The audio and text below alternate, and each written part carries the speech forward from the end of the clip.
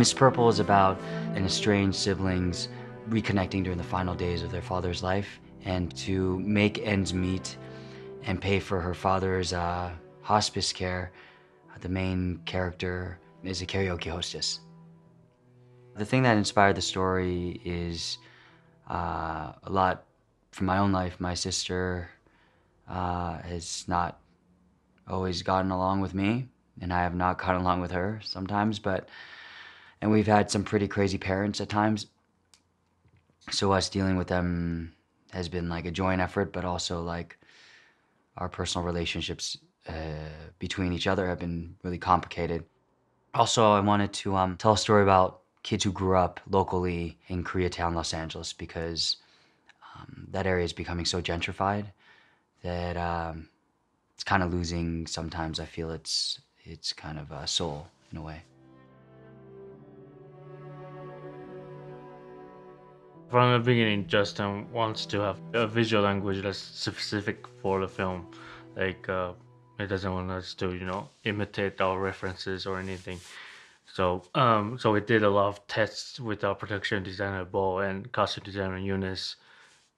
Try to find something like you know the color pa- palette, the texture, and uh, you know since it's in color and it's titled Miss Purple, we actually hit a lot of green tint, which is the complete opposite of purple or magenta into the film. So almost like a, an older Fuji stock where you can feel the tint everywhere. It is in production design or in the in the custom that that we built.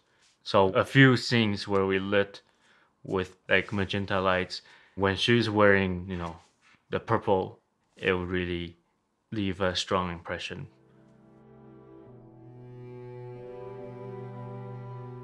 We tested pretty much all the cameras on the market and we ended up liking the image quality and the size and the weight of the Alexa Mini. And because we knew, you know, half a film will be handheld and then in cars in tight spaces. And the image of Alexa really us to live a lot of stuff in the shadows.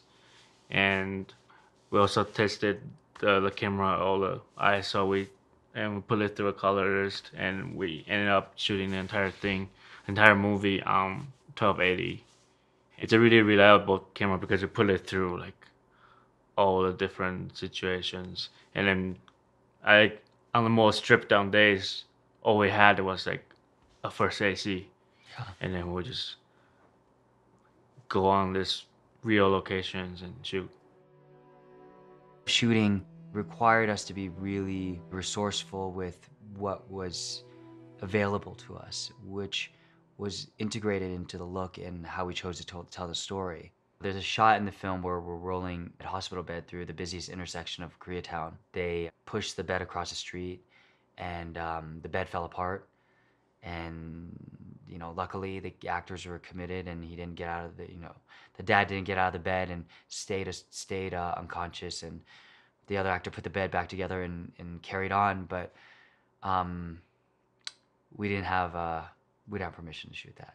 Had we have had paid for it, we would have to block off that whole street, hire cops, uh, stage cars, uh, stage extras, pay all those people, and the setup times and all that stuff would take a few hours. We shot in five minutes. Indie filmmaking at its finest.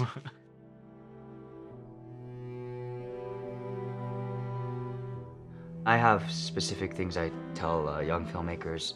One being, why? Why? Why do you even want to do it? Why? What's the purpose of it?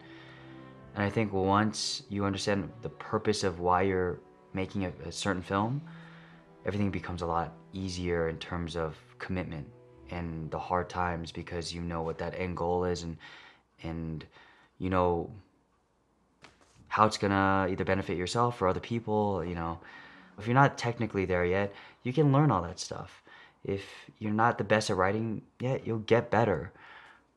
The hardest part, I think, is understanding why you're doing what you're doing.